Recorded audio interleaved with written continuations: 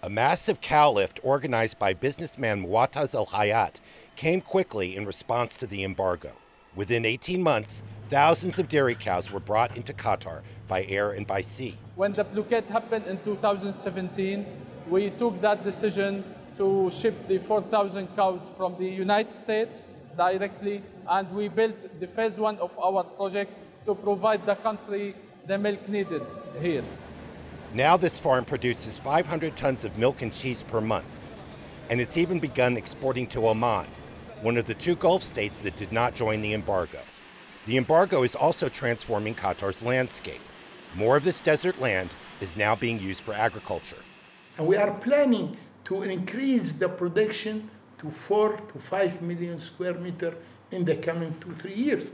This is the food security for the fruit and vegetable. And this is our aim, and this is our intention to do that. I think if we get the full support within three, four years, we can have almost 80% of our requirement to be produced locally, especially in the vegetable. A harsh climate, sandy soil, and little water mean reaching this goal has to happen in hydroponic greenhouses. We uh, produce four, four main crops uh, zucchini, tomato, eggplant, and, uh, and uh, tomato, beside mushroom, of course. They're all organic. With the cows and cutting edge farming, the embargo has brought more economic self reliance. Its growing stock exchange now lists more companies that produce for the local market.